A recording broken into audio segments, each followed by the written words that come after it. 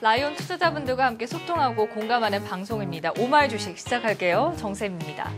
네, 실시간으로 방송에 참여하실 수 있는데요. 아프리카 TV 검색창에 프로그램 이름 오마이 주식을 검색하고 들어오시면 지금 바로 여러 가지 시장 관련 또 종목 관련 질문들 올려주실 수 있으니까요. 여러분의 많은 참여 기다리고 있겠습니다. 수요일 장이 모두 마감이 되었습니다. 오늘 오마이 주식에 함께 해 주실 분은 아, 다정한 투자 교감 선생님 아, 한옥서 와은의 파트너 나오셨습니다. 안녕하세요. 네, 반갑습니다. 네.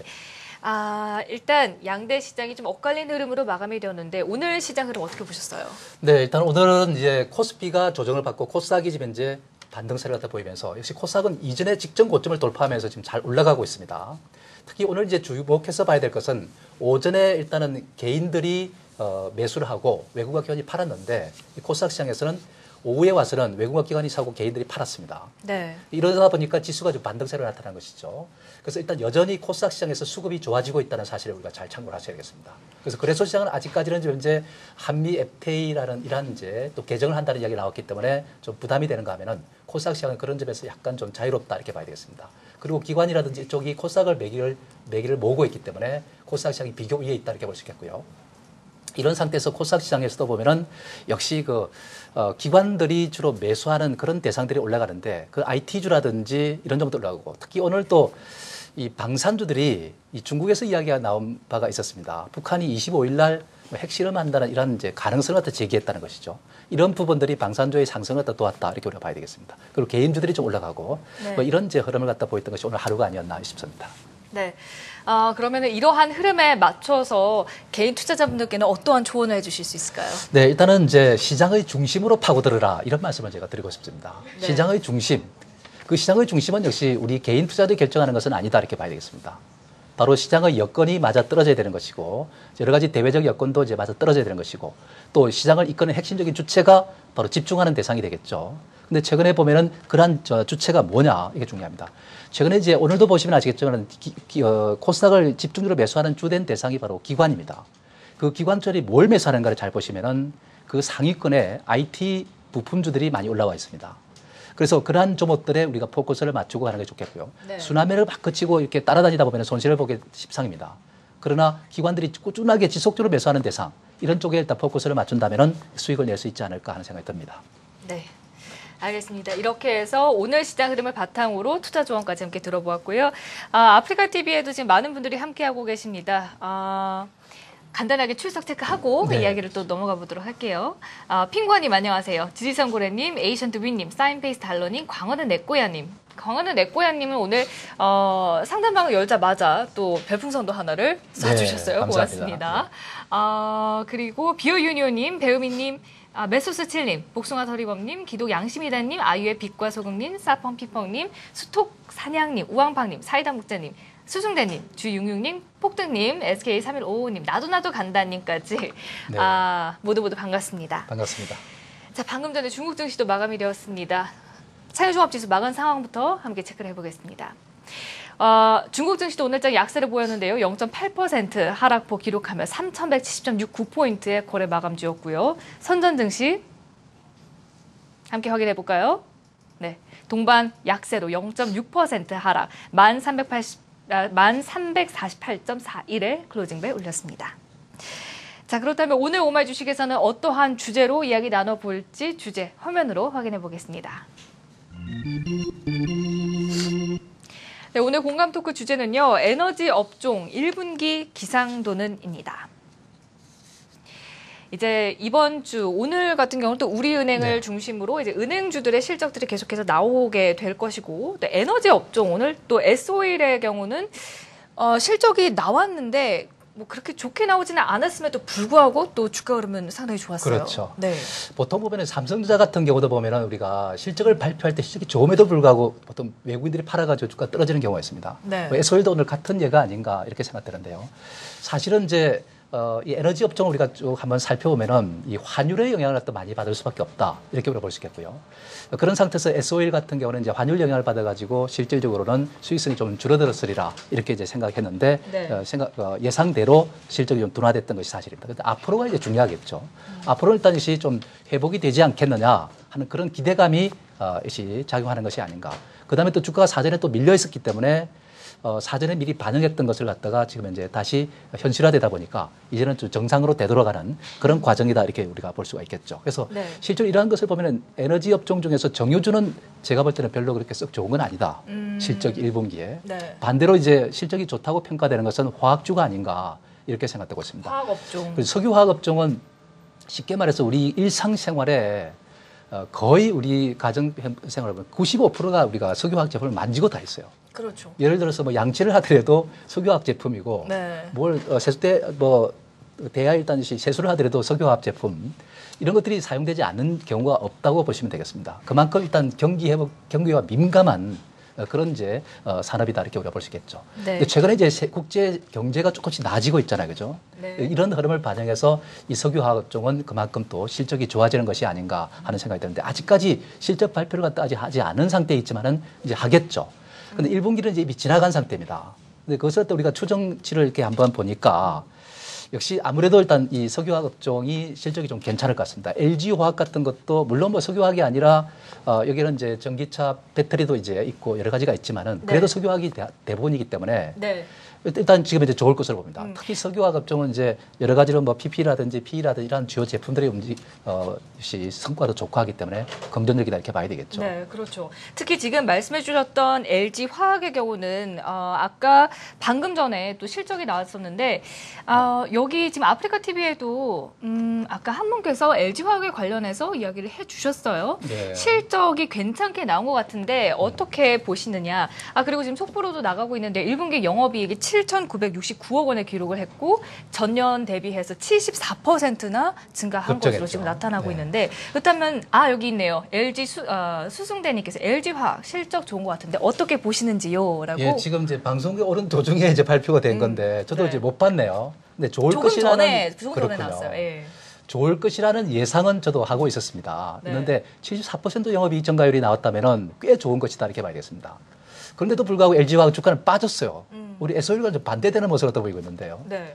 근데 사실은 이제 LG화학 같은 경우는 지금 중국과 관련이 돼 있지 않겠습니까? 그죠? 음. 그 중국에 일단 이시 어, 사드 문제를 해서 일단 여러 가지 일단 제재 요인도 생겨 있고 그러다 보니까 좀 부담이 좀 되고 있고 네. 중국이 특히 또 우리나라 전기 배- 전기차 배터리에 대해서 까다로운 요건을 갖다 요구하고 있습니다. 그러다 그 요건을 충족시키지 못하기 때문에 적어도 중국에는 어, 이러한 전기차 배터리가 좀 어, 들어가기가 어렵게 돼 있다. 네. 그런 이제 지금 다음에 이제 하반기에 들어가면 아마 우리나라 전기차 배터리 업체들이 아마 세계 1위를 차지하지 않을까 점유율이 음. 이렇게 보는데 하반기에 가야 좀 제대로 된 어떤 것이 성과를 내지 않을까 싶은데 특히 이제 화학주들은 1분기에 보면은 전기전자하고 화학업종이 수출이 가장 좋았어요. 네.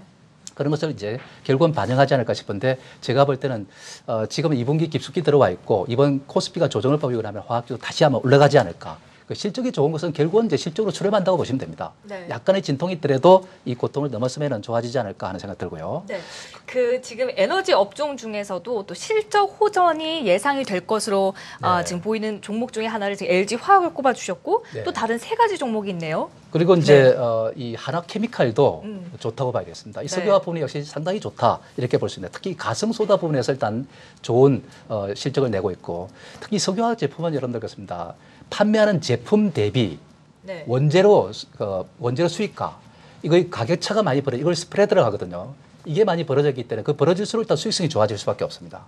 그렇기 때문에 사실상 비용에 비해서 수익이 좋아지기 때문에 어, 당연히 석유화학 제품들이 대부분 더 좋을 수밖에 없습니다. 관련주들이. 그래서 이 하나케미칼도 그만큼 좋을 수밖에 없다는 말씀드릴 수 있겠고요. 그 다음에 또 중요한 것이 뭐냐면은 이 롯데케미칼. 이 롯데그룹주는 지금 이제 중국에서 상당히 지금 이제 좀 고통을 겪고 있는 그런 상태인데 더군다나 지금 총수도 지금 이제 여러 가지로 지금 법적 문제로 지금 여- 어, 돼 있고 그런 상태인데요. 어쨌든 이 올레핀 마진이 지금 약화되면서 조금 좀 부담 요인이 생겼지만은 어, 주요 제품이라고 해서 부타디엔이라든지 그 다음에 이제 MEG 같은 이런 마진이 상당히 좋아지고 있어요. 그러다 보니까 이제 실적이 앞으로 상당히 또 더 좋아지는 거 아니냐 네. 이런 이제 말씀을 드릴 수 있겠고요. 그 다음에 이제 에너지 관련주 중에서도 보면은 어, 이 코, 저 SK 이노베이션 네. 이거는 이제 우리가 어, 시 SO일과 어, 또 그랬 어, SO일은 좀 실적이 안 좋았지만은 SK 이노베이션 같은 경우는 실적이 좀 좋아질 것 같습니다. 음.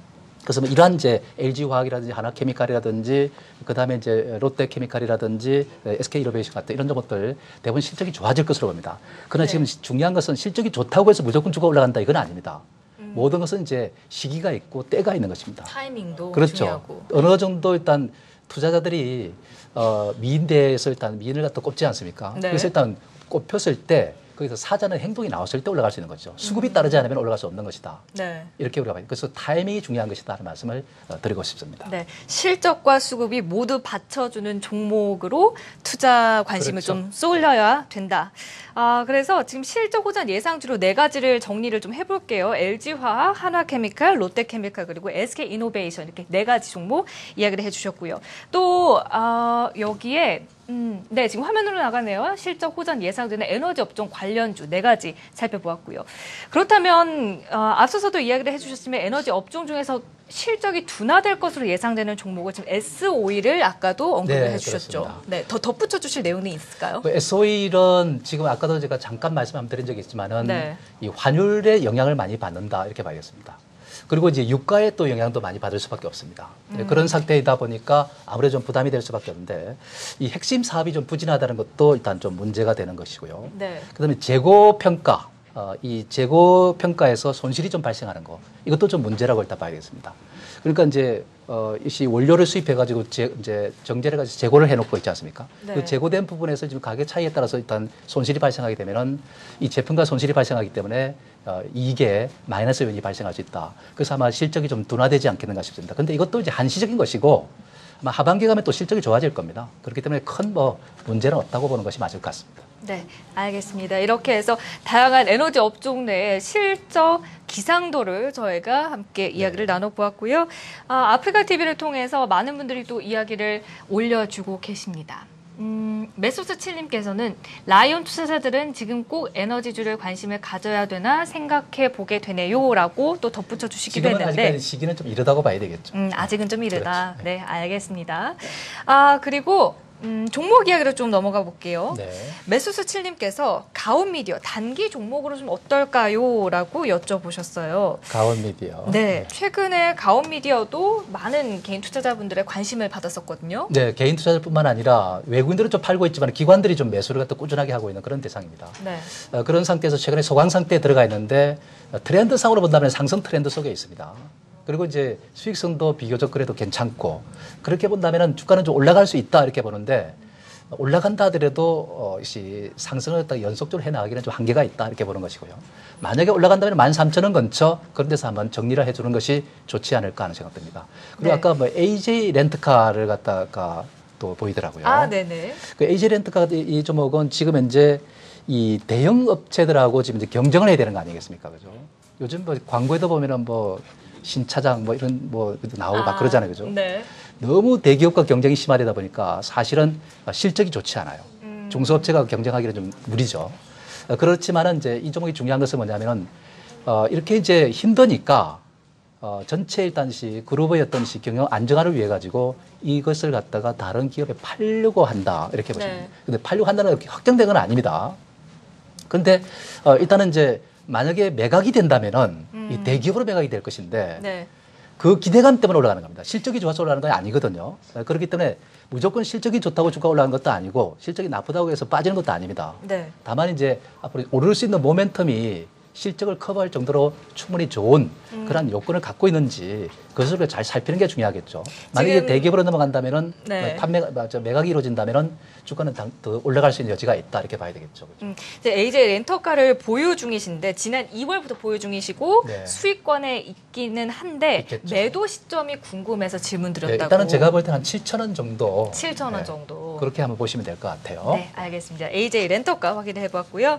아, 그리고 SKC 코롱 PI 같은 종목은 어떻나요?라고 사이다 목자님께서 아, 또 올려주셨어요. 예, SKC 코롬피아는 제가 한번 이 어, 한번 그 관심주로 제시한 적이 있습니다. 음. 예, 그래가지고 까지 올라갔던 상태인데 그리고 지금은 좀 쉬고 있는 모습이죠, 그죠? 근데 이거는 이제 앞으로 어, 시뭐 스마트폰의 어떤 시 어, 안, 저, 안정화를 위해서 일단 여러 가지 일단 스마트코인 지금 폭발했잖아요. 그죠? 네. 이런 폭발을 방지하는 기술을 갖고 있는 거기 때문에 어차피 일단 수요는 많을 수밖에 없다 이렇게 볼 수 있습니다. 그래서 지금은 계속해서 상승 트렌드를 갖다 이어가고 있는 그런 과정에 있는 거죠. 그죠? 근데 언제 끝나느냐가 이제 중요한 것인데 제가 이제 이걸 관심을 가져왔었기 때문에 가치상으로 이제 어, 펀더멘탈적으로 보면은 이제 목표치를 한번 계산해 보니까 네. 대체로 얼마가 나오냐면은 여기 2만 원 고천으로 그 19,500원에서 한 어, 2만 1,500원 그 사이가 나옵니다. 그래서 네. 그 사이까지는 한번 갈 수 있다고 보는데 거기서는 한번 끊어주는 것이 제가 볼 때는 좋지 않을 것 같습니다. 만약에 거기서 더 올라간다면 이거는 이제 어, 좀 그리디한 탐욕이 붙어가지고 밀어 올리는 것이고 네. 어, 탐욕은 어, 이제 뉴턴이 자로 잴 수도 없고 어, 측정할 수도 없다 그랬잖아요, 그죠? 네. 예. 가속도가 붙으면 이거는 뭐 어쩔 수가 없습니다. 분석이 맞지 않은 거죠, 그죠? 예. 음, 알겠습니다. 아, 그리고 지금 S1에 대한 종목 상담 내용도 올라와 있습니다. 4월, 5월 안으로 10만 원을 돌파할 수 있을지 그 가능 여부가 궁금하시다고 나도 나도 간다님께서 올려주셨어요. S1. S1. S1. 네. S1은 지금 이제 바닥을 찍고 이제 전환하고 있는데 네. 한 가지 중요한 게 기관들이 집중적으로 매수하고 있습니다. 근데 이걸 또 얼마에 사셨는지는 안 나와 있죠. 아, 예, 그 네. 매수가는 나와 있지 근데 지금 이게 10만 원을 가느냐 못 가느냐 그것이 궁금하다는 얘기죠, 그죠? 음. 네. 근데 제가 볼 때는 충분히 갈 수 있는 대상이다 이렇게 볼 수 있습니다. 아, 네. 그래서 지금은 이제 바닥을 완전히 굳혀가지고 전환하는 과정에서 기관 투자가들이 매력을 느끼고 일단 매수를 갖다가 강화하고 있다는 사실은 매우 중요하다 이렇게 있는 것이고요. 네. 아마 제가 볼 때는 10만 5천 원에서 11만 원 사이 음. 예, 거기까지 가지 않을까. 물론 뭐 좀 올랐다가 또 쉬었다가 또 갔다 이런 식으로 가겠지만은 네. 어쨌든 바닥에서 기관들이 꾸준하게 모아가고 있다는 사실에 포커스를 맞춘다면은 좋은 종목이라고 보시면 되겠습니다. 네. 알겠습니다. 이렇게 해서 S1도 함께 들어보았고요. 아, 그리고 방금 전에 또 아프리카 TV의 고래 사냥 포님, 굿바이브님도 들어오셨네요. 반갑습니다. 네, 반갑습니다. 아, 로체 시스템에 대해서도 요즘에 많은 라이온 투자자분들이 질문을 올려주시는데 네. 아, 유증과 무증 둘 다 받아서 보유 중인데 어때 보이십니까? 그리고 이번 증자로 기업 시총이 천억이 넘었는데 지주사 전환 움직임은 없을까요? 라고 두 가지 질문 주셨네요. 네, 일단은 지주사 전환은 아직까지는 뭐 좀 이르다고 일단 볼 수 있겠고요. 음. 일단은 유무상증자를 갖다가 일단 하고 권리락이 된 상태입니다. 그죠? 네, 그런 상태면은 보통 유상증자, 무상자 권리를 하게 되면 이제 주식 수가 늘어나잖아요. 그죠? 네. 수가 늘어나면은 이 종목이 만- 만들어내는 이익을 갖다가 어, 주식으로 나누게 되면 EPS가 됩니다. 한 주당 이익이 되죠. 그죠? 그러니까 이 이익이 높아져야만이 되는데 유상증자든 무상증자를 해서 주식 수가 많아지면 EPS가 줄어들어요. 줄어들기 때문에 상대적으로 일단 어, EPS가 낮아지게 되는 것이고 낮아지게 되면은 어, 퍼는 EPS분의 주가니까 결국은 역시 어, 퍼가 높아지는 이제 효과를 갖게 되는 것이죠. 그런 점에서 좀 보면 부담스럽습니다. 다만 유무상전자를 했는데도 불구하고 안 빠지는 거는 왜 그러느냐 하면은 이 반도체와 관련된 종목이다 보니까 음. 그 지금 반도체 지금 업황이 상당히 좋잖아요, 그죠? 네. 그래서 앞으로 비전이 있다. 음. 이렇게 이제 보는 것이죠. 그런 점에서 본다면은 좀 더 올라갈 수는 있다고 보는데 그런데 큰 기대를 갖다 그런 것은 좀 무리다 이렇게 볼 수 있습니다. 그래서 제가 판단할 때는 어, 좀 더 올라간다면은 어, 만 어, 300원 전후 예, 그런 선이 이제 좀 경계권이다 이렇게 보시면 되겠습니다. 네, 로체 시스템즈 들어봤고요. 아, SK3155님께서 슈피겐 코리아도 봐주세요. 대우 전략 부탁드립니다. 비중은 31%. 오늘 신규 진입을 하셨다고 5만 1,800원 네. 매수가 적어주셨습니다. 5만 1,800원. 지금 네. 현재 그 종가가 바로 매수가네요. 그죠? 네, 근데 지금은 이제 매수해도 뭐 큰 부담은 없는 가격이다 이렇게 보시면 될것 같고요. 어쨌든 이것이 이제 어 지금 그 애플에 일단 공급하는 그런 부품 이제 회사라고 이렇게 보시면 되겠습니다. 그리고 기관들이 최근에 또 매수가 조금씩 들어오고 있고 하기 때문에 어 점차 좀 올라갈 수는 있겠다는 생각이 드는데 근데 이 종목은 그렇게 삼성이 애플에 대해서 강력한 도전장을 던졌지 않습니까? 갤럭시 S8을 가지고 던졌기 네. 때문에 애플이 상대적으로 그렇다면 또 위축이 될 수 있습니다. 왜냐하면 서로 어, 같은 이제 동일 고객들을 놓고서 서로 뺏어가는 것이기 때문에 그런 입장에서 본다면 삼성이 강하게 들어온다면은 좀 약화될 수가 있는 거죠. 그러면 부품 공급이 좀 줄어들 수 있다.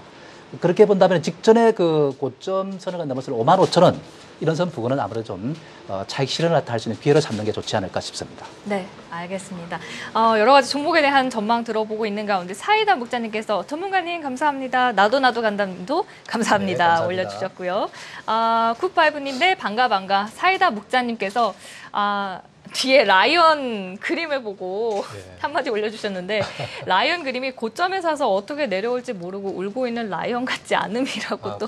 덧붙여 주시게 되는데 어, 라이언처럼 좀 어, 기회를 위기를 또 기회로 바꿀 수 있는 그러한 전략으로 투자를 좀 해보면 어떨까 하는 의미도 담겨 있다라는 말씀도 함께 이좀 포효하는 그림, 그 사자후라는 말이 있잖아요. 좀 사자가 네. 확 울부짖는 이걸 한 해놓으면 더 좋겠네요. 네, 알겠습니다. 아, 그리고 마지막으로, 음, 종목 간단하게 하나만 더 들어볼게요. 네. 아, 아 저희가 슈피겐 코리아까지 확인해봤나요? 네, 음, 그 네. 더블유게임즈. 아모레퍼시픽의 앞으로의 전망이 궁금하시다고 고래사냥포님께서 여쭤보셨거든요. 간략하게 들어볼게요. 네, 일단 아모레 퍼시픽은 뭐 화장품과 관련한 종목이다 이렇게 우리가 보시면 될 것 같고요. 이제는 이제 중국과 관련해서 일단 이런 화장품 관련들이 이제 영향을 많이 받았지 않습니까? 네. 그리고 이제 미국에서 지난번에 사드 배치건도 다음 정부에 가서 일단 배치를 하겠다. 실제로는 장비를 다 가져왔고 5월 달에 충분히 저 배치를 완료할 수도 있는 문제인데 차기적으로 미뤘습니다. 이것이 아마 중국과의 어떤 모종의 물밑 협상이 있었던 것이 아니냐. 이런 이제 이야기 속에서 최근에 이제 이런 중국 관련들이 좀 올라가고 있습니다. 근데 아직까지는 이제 모르죠. 근데 이제 너무 많이 빠졌다는 거죠. 악재가 자꾸 작용하다 보니까 같이 이하로 내려와 있기 때문에 지금은 이제 바닥을 굳히는 상태다.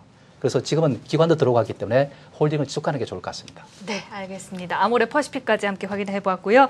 아, 그렇다면 이제 내일장 전략은 저희가 어떻게 세워보면 좋을까요? 네, 일단 아까도 제가 잠시 말씀드렸지만은 지금은 거래소보다는 코스닥이 핵심입니다. 그래서 범위를 코스닥으로 축소하고 그 코스닥청에서도 일단 누가 주도하느냐 하느냐를 잘 봐야 됩니다. 바로 기관입니다.